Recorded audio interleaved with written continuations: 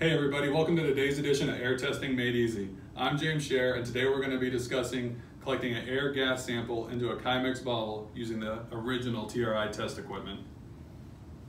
To speed up the process, I went ahead and assembled the unit and hooked it to the air source. Once the unit is hooked to the air source, you can establish airflow per the indication on your instructions sheet.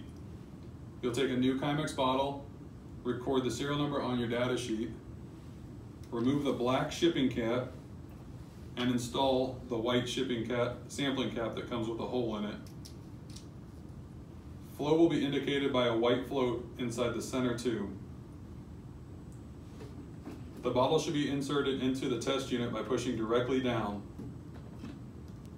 Collect the sample for a period of one minute and remove the bottle by removing straight up to not damage the unit or the bottle. Remove the sampling cap and replace your shipping cap. Place all the items back in your test kit and return to the lab for analysis. Thanks for watching today's edition of Air Testing Made Easy. If you have any additional questions, please visit us at airtesting.com.